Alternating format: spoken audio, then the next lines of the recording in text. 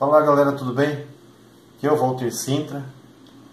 Queria comentar com vocês. Hoje eu fiquei pensando nos vídeos que eu fiz bem, bem antigo mesmo que eu coloquei no meu canal, eu fazendo flutuação. Né? Até muita gente pensou que era mentira, que era tinha coisa no meu shorts, que era tinha bolha. Realmente eu entrei, estava seco os shorts, né? Mas é técnica de flutuação Suiren Jutsu, Suiren, Sujutsu ou Sui, Suien Jutsu. Então eu fiz um pequeno desenho aqui, né? Essa linha que está aqui no meio é a água. Esse aqui é uma pessoa que ela está com os joelhos, os, os pés juntos, joelho com joelho. E essa parte aqui, ó, da, que a água vem aqui com um pouco da cabeça para lado de fora e um pouco das mãos para de fora. Né? Equilíbrio da água. Quando você conseguir chegar nessa técnica de ficar com os dois joelhos parados, e tem a técnica da respiração também, já vou falar. E esse círculo aqui, ó, porque essa, essas mãos vai para trás. Né? Porque você tem que fazer a, a parte, senão você vai afunda. Aqui você enche todo o peito de, de ar e prende. Para poder ficar aqui, ó. Ficar bem cheio o peito para você não afundar a cabeça pro chão. Pro, pro chão, pro, pra água. pro chão. Com as, essas mãos, você levanta elas para trás. Entendeu? Que aí você vai poder ter aquela envergadura mais no peito. Né? Essa envergadura aqui, com, com a parte que você está respirando, flexionando o braço para cima, que você vai poder voltar esse braço aqui para a água. E aí você solta respiração. Quando você respirou, encheu o peito de ar, volta, respirou e vai fazer esse movimento. Essa é a primeira técnica. Os pés você faz um, um pequena, leve, só para poder é, manter um pouco o equilíbrio dos pés. Até depois você conseguir a ficar nessa mesma posição, com a parte respirando, controlando a respiração, e você ter confiança de não afundar. Igual no meu caso, eu consigo ficar nessa posição aqui, com as duas mãos para fora da água, né? ou esticado as mãos e, e, os, e os pés, e a cabeça só um pouco de água aqui, que faz eu respirar, contando a respiração. Se você soltar o ar, essa água que está, ela, ela cobre o rosto. E aí entrava no nariz ou na boca. Né? Então eu consigo ficar é, flutuando em cima da água.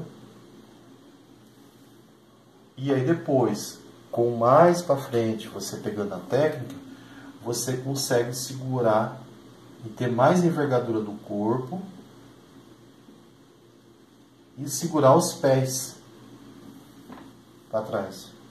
Essa técnica aí é como fosse assim, é, amarrasse os pés a mão e jogava a pessoa no rio.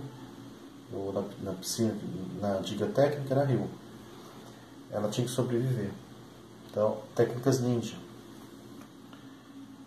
Respiração o equilíbrio você tem que ter na água, respiração, controle da respiração. É, é um pouco difícil falar essa parte aqui. Nessa técnica, Suijutsu, quando o corpo ele tá, está quase conseguindo flutuar, você tem que respirar. Só que a gente é acostumado a respirar com o tórax e não com a barriga. Então tem que fazer exercícios profundos de respiração, meditação. Sabe aqueles yogis, aqueles pessoal que faz meditação? Né? Então, eles têm um controle imenso. As técnicas ninja também. tem várias técnicas de respiração, controle.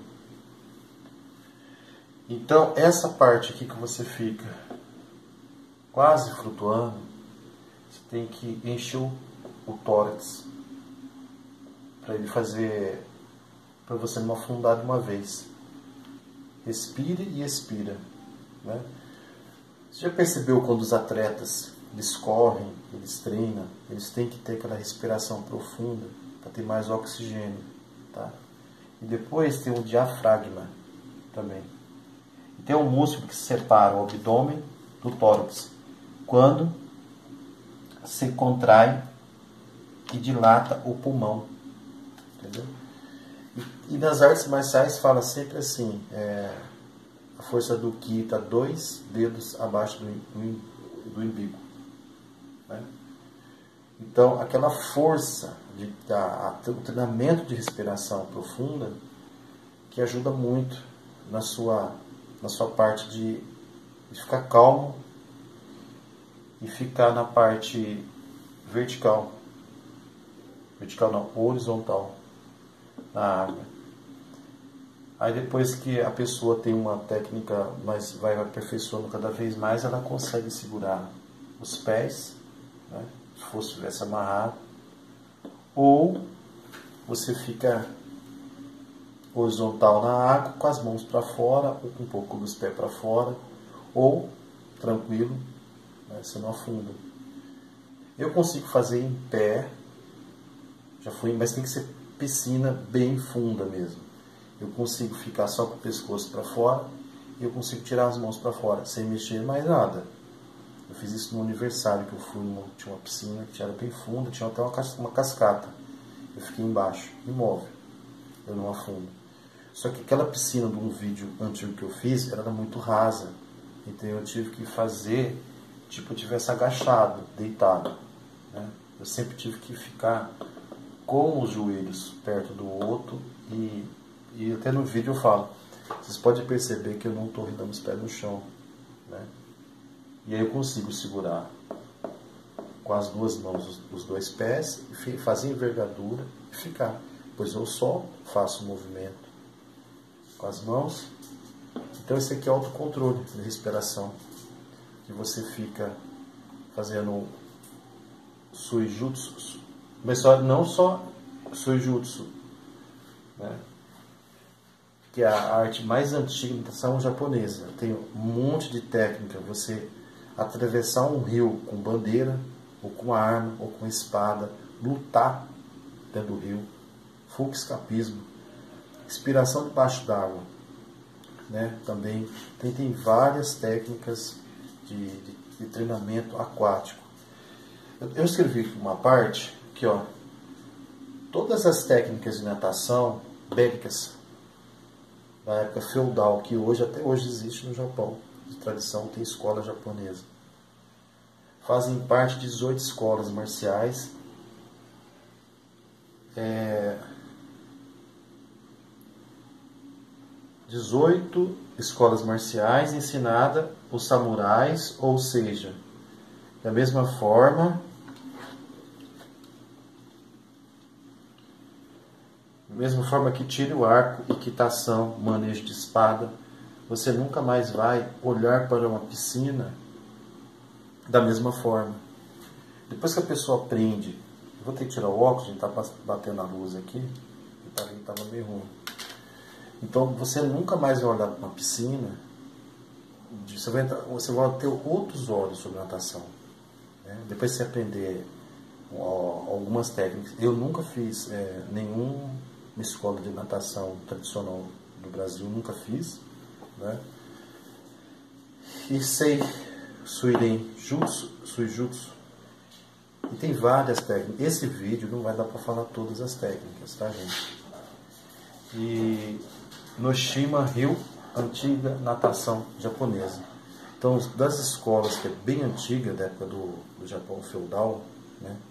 Tem várias histórias, tudo hoje também não vai dar para falar, tá, gente? Eu vou colocar uma pequena descrição lá embaixo do vídeo tá bom? Eu só queria assim que vocês soubessem um pouquinho o que eu aprendi antigamente, né? Não consigo fazer todas as técnicas mais, porque você tem que ter treinamento, dedicação, autocontrole.